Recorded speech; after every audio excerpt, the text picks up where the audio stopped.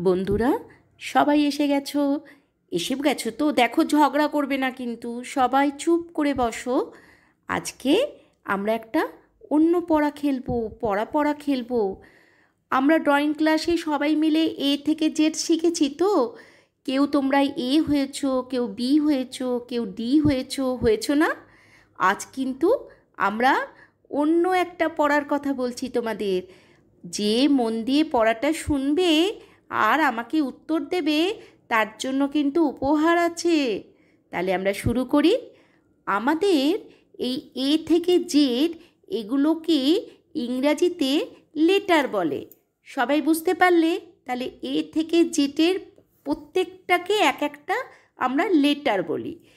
এবার আমাদের কতগুলো লেটার আছে এ থেকে জেড মোট ছাব্বিশটা লেটার আছে। তার মধ্যে একুশটা লেটার হচ্ছে কনসোন্যান্ট। আর পাঁচটা লেটার হচ্ছে ভাওয়াল। তো পাঁচটা লেটার ভাওয়ালের মধ্যে কোনগুলো পড়ছে? এ, ই, আই, ও, আর, ইউ।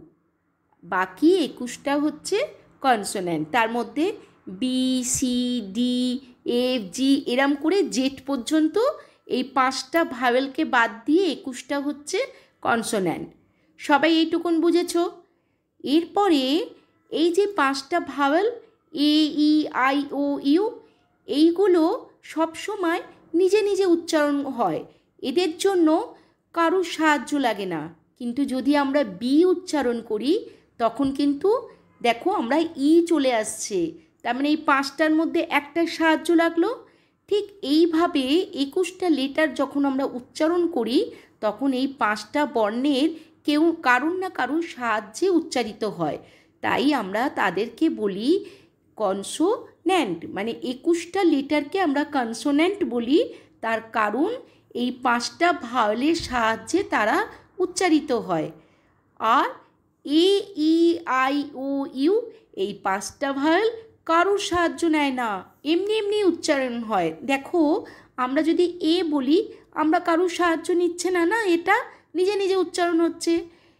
ই বলি ইটার ভেতরে কিছু নেই, ই আছে। তার মানে এরা নিজে নিজে উচ্চারণ হতে পারে, তাই এদেরকে ভাওয়েল বলি।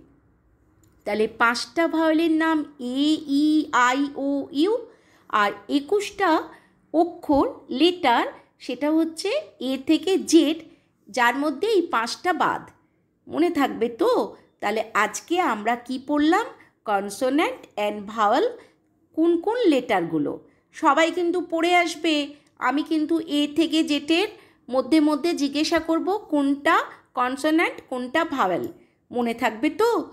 তাহলে আজকের মতো শুভরাত্রি। সবাই ভালো থেকো কিন্তু।